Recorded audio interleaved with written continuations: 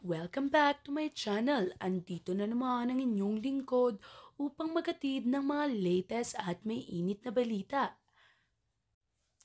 Wrong move nga, ika ang ginawa nilang pagsugod sa bahay ni Pastor Kibuloy. Kung matatandaan ay gigil na gigil ang mga mambabatas na mahuli at tuluyan ng makulong ang pastor. Pero sa kanilang maling ginawa ay na maghahatid nga ng peligro para sa iba, lalo na ang kapulisan na kasama sa pag-arrest. Sinasabi nga na may dala ang mga itong arrest warrant. Subalit ang kanilang ang ginawa ay kanilang nilibot at dalawang compound, pati na ang paaralan na pagmamayari ng pastor. Ito nga ay illegal kung kaya naman dahil sa kanilang kadesperaduhan ay mali ang kanilang ginagawa. At kilala naman ang mga abogado ni Pastor Kibuloy na sina Attorney Torio at si Attorney Harry Roque ay makita nila ang maling ginagawa ng mga ito kaya naman sila ay re-rest back sa isang ilegal na pamamaraan. Kahit nga raw utos lamang ito ng kapulisan ay dapat na may managot. Panoorin natin ang video para sa karagdagang detalye at impormasyon. Magandang araw mga kaibigan. Uh, pag-usapan natin ngayon ang uh, pagmamalabis ng mga kapulisan natin yung nag-raid sa KUGC compounds. At ang uh, hinahandang uh, legal uh, restback ng kampo ni Pastor Kibuloy na medyo kawawa itong ating mga kapulisan sa legal na aksyon na gagawin ng kampo ni Pastor Kibuloy. Okay. According to dalawang lawyers, ito ha, si Attorney Israelito, Israelito Torion, talagang abogado ng kampo ni Kibuloy, plus si Attorney Roque, salita. Ah, uh, una, kay Attorney Torion, maraming nasaktan na mga KOJC members. Kasi nagkaroon ng body body search eh. Uh, nung una, pumalag. Pumalag ang mga members. They tried to stop yung raid. Kaya siguro sa uh, resistance ng mga members ng KOJC, kaya nagkaroon ng komosyon, nasaktan yung mga civilian eh, itong mga pulis na ito, they are combatants eh. Uh, ulitin ko, ang pinaka the best of the best ng mga pulis natin, mga SAF, eh dalawang batalyon yan eh. Kung order is order, nako. Uh, kaya may nasaktan at ato according to attorney Torion yung mga statements ng mga KOGC members, mga civilians na nasaktan during this police raid na ito They are now compiling the restatements, siguro mga medical certificates, and they're planning to file uh, criminal cases against sa ating mga kapulisan. Kaya ito na, napahamak na ang ating mga pulis, ng mga pulis, sumusunod lang sa utos. But later on, i-discuss ko na minsan kailangan mo rin ng wisdom eh sa pagsunod ng utos na yan. So uh, I believe na as soon as possible, uh, ang kampo ni Pastor Kibuloy, KOJC, will file uh, legal o criminal complaints against sa ating mga kapulisan. Okay. So ano pa? Yung isa pang paglabag uh, ng ating mga kapulisan, I don't know kung alam ba nila ito, yung ang dala-dala lang nila, there's a legal warrant of arrest uh, para kay Pastor Kibuloy. So kung warrant of arrest, very very clear naman is directed kay Pastor Kibuloy yung warrant na yun. An order of the judge na huliin kung nandun si Pastor Kibuloy para uh, he will be taken into police custody. Yan. Kailangan nangyari sa pag-serve ng legal arrest warrant, nagkaroon ng incidental search. Nag sinearch nila ang yung tatlong compound sa Davao City, sa what's this, sa Samal Island, sa Sarangani, pati mga eskwelahan eh, yung eskwelahan ng uh, ni Pastor Kibuloy. Sinearch nila mga dormitories. Ang tanong, may dala ba ang mga kapulisan natin na search warrant? Yun, inamin ng kapulisan, wala. Only warrant of arrest ang dala-dala. Eh bakit sila nag-search? Ah, ang tawag yan, incidental search. Allowed ba yun? Sabi ni Attorney Roque, it's not allowed. Yung incidental search. Kaya dito, naawa ako sa ating mga kapulisan, lalo na itong mga SAF. Siguro yung uh, ah, CIDG, alam nila yan dahil ano to, bi, uh, bihasa sila sa law enforcement ang uh, ah, CIDG. But yung SAF, alam ko yung SAF, mga combatants ito, siguro nakalimot ang ating mga pulis or sumusunod lang. Uh, i-search nyo, i-search nyo yung mga ito. Eh wala naman silang search warrant. Sumunod naman yung mga pulis. Eh di sila ang kawawa. Okay?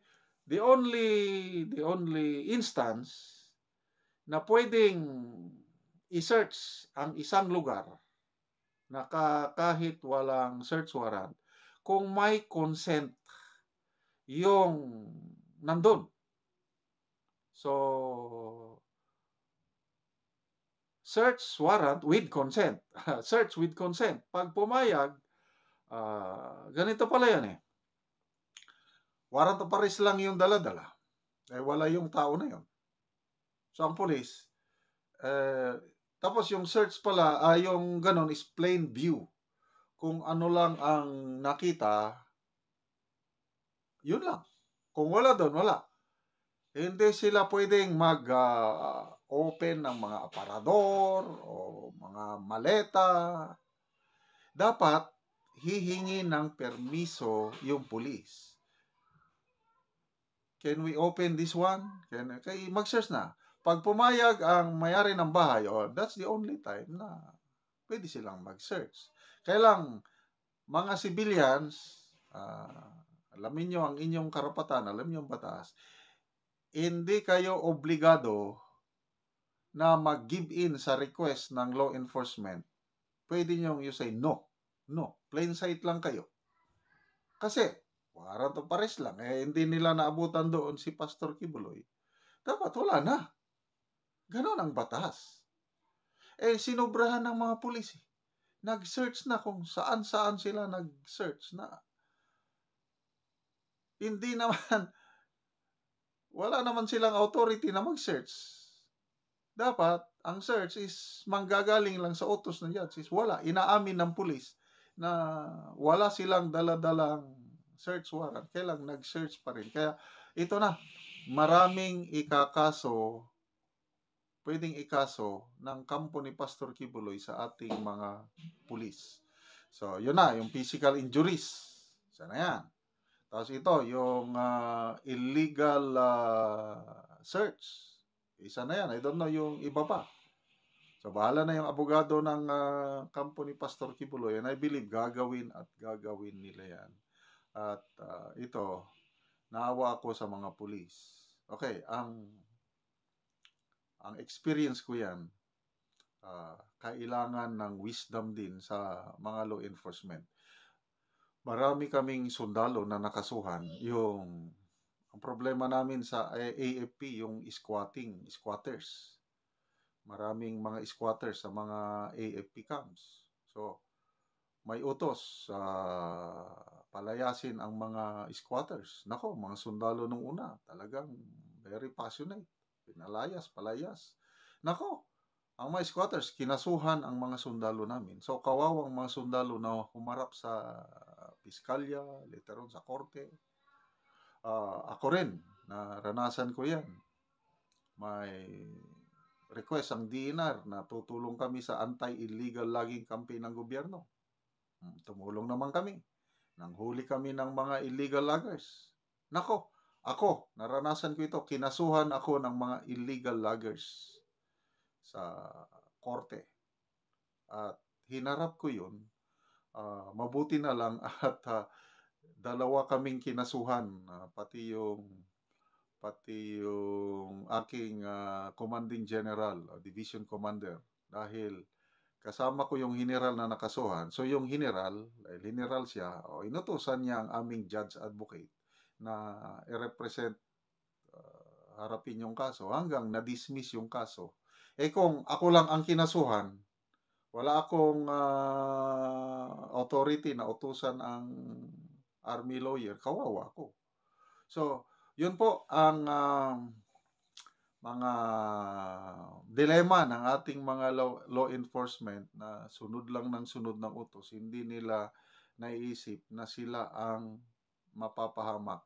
Lalo na itong mga SAF ah, na more on combat oriented counter-terrorism, counter-insurgency, laban ang kanila, eh mapasabak sila sa law enforcement. Nakalimutan na nila siguro yung batas.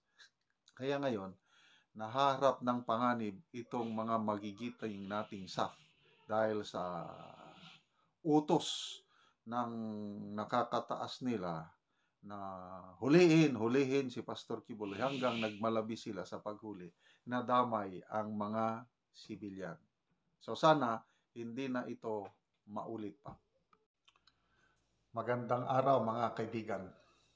Ito nakakadismayang balita tungkol na naman sa kalokohan ng mga pulis ang pag-usapan natin ngayon. Ito ang Philippine Daily Inquirer na balita. Eight Quezon cops cited for contempt during House hearing. Walong pulis na assign sa Lucena City nakakulong ngayon. Ah, they were cited in contempt at with fixed date, uh, number of days. The, makukulong sila ng 30 days. Tagal-tagal yun. Ah, si Agent Morales, ilang araw bang nakulong sa Senado? I think 4 days lang ata. Ah, at least medyo katamtaman lang yun. Sina Ka Eric and uh, Doc Badoy, I think 7 days. Uh, sa 10 days nga. Basta more than 1 week. Medyo matagal-tagal yun. Ito, 30 days. So, ano bang kasalanan nitong walong pulis ng Lucena? Bakit pinakulong sila ng mga kongresista for 30 days? Ito, madidisma kayo, na madidismaya kayo yung talagang kalukuhan ng mga pulis. Although, fuera de los buenos. Klaruhin natin. Mas marami sa opinion ko, malayong mas marami ang mga pulis na matitino. Meron lang mangilan-ilan at ito na naman, walong pulis Lucena nakakulong dahil sa kalukuhan. Okay. So, ang kasalanan nila is ano, uh, they refuse to answer questions regarding an alleged illegal raid conducted against a congressional resource person. They refuse to answer. We invoke our right against self-discrimination. Ganun lang. Malala nyo nung, kailan ba yun? 2022 ba yun? Yung kay ex-police sergeant Masa Mayo. Halos ganun eh. I invoke my right against self-incrimination. So, itong walong pulis nga nakakulong, ganun din. Invoking the right against self-incrimination. Okay. So, ang walong pulis na nakakulong ngayon sa Kongreso, uh, pinanguluhan ng Lucena City Police Station Drug Enforcement Unit uh, led by Police Captain Auron Herrera. Okay? 30 days. Okay. So, ito. Yung question, ang nagko-question sa mga pulis na ito, yung walong nakakulong, walang iba kundi si Deputy Speaker uh, David Suarez, congressman from from uh, Quezon. Okay. Itong si Congressman Suarez, earlier, nag-file siya ng resolution uh, to investigate an alleged election-related violence in Quezon Province during the October 2023 barangay and SK election. Okay? So, election violence ang ano, ang ah, target ng target ng house hearing. Hindi muna droga. Okay. Sabi ni Congressman Suarez na meron silang female resource person doon sa election related na hearing na nag-testify na she was targeted by officers in an alleged buy, buy-bus operation last May 24. Bago lang. May 24 ito. Uh, last two weeks ago. Na uh, two days after the hearing ng election-related uh, violence hearing, mag-testify itong babaeng ito. Nako, ang mga pulis ni-raid ang bahay nitong resource person. Okay? Yan, ganyan pong kwento. So, itong walong pulis na identify na sila yung alleged nag-raid sa bahay ng babaeng resource person. So, nung tinanong ni Congressman Suarez, tinanong niya si Herrera kung sila yung mga individuals na nakunan ng CCTV camera moving towards sa bahay ng uh, resource person, ang sagot ng mga pulis, uh, ang sagot ni Captain Herrera, he was invoking his right against self-incrimination. Okay? Kikita mo naman ang mukha, di ba? So kung ikaw yun, eh talagang ikaw. Klaro naman ang mga CCTV. Kung kitang-kita na yung mukha, klarong ganyan, eh, kung ako, yes, Your Honor, ako yan. Kasi kikita na yung mukha. so itong Captain Herrera, kuhang-kuha na sa city, CCTV camera siya at pito niyang tauhan na papalapit sa bahay ng uh, resource person, illegal raid, drug raid kunuhay. Sabi ba niya, I invoke my right against self-incrimination. Ay, kalukuhan. okay, so, ayaw niya aminin. Oh, ganito lang sabi niya, I am Police Captain Aaron Herrera. I am the team leader of uh, Special Drug Enforcement Unit of Lucena City. I am confirming what you said, Your Honor. We were officers arrested last week. Okay, yun lang ang kanya. Na, kasi na-aresto sila eh. Yung illegal, uh, illegal, anong to? Uh, illegal raid na ginawa nila doon sa uh, bahay ng uh, resource person. Nagreklamo ito. So, umaksyon yung kapulisan, eh, eh identified sila, uh, di ikinulong.